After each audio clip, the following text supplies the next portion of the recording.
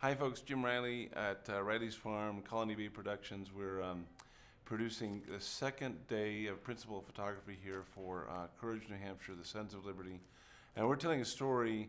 Uh, I don't want to give away the ending, but we're basically telling a story about the um, influence of corruption in the uh, early days of uh, colonial government prior to the revolution. And it it may be very difficult for you to understand corruption because we, we just haven't seen corruption for so long. I mean, corruption just existed in the 18th century, so we, we don't see it in our modern day. So it's very hard for us to understand how people could take bribes or, or uh, go panhandling to get elected to office, that sort of thing. Uh, just we just don't see that anymore, do we? Today, today we're going to be shooting um, a dinner scene, and we're also going to be shooting uh, a, a, an example of colonial punishment, which was standing in the pillory. Um, uh, it closes down around your neck and hands or whatever, and uh, you stand in it for three hours.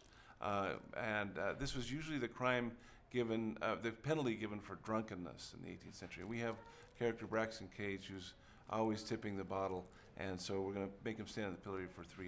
We're going to be telling the story of the Sons of Liberty, and uh, I am uh, making a specific pitch to all of our Riley's Farm uh, customers and guests and friends to buy our original DVD. You can get it at Amazon or colonybay.net.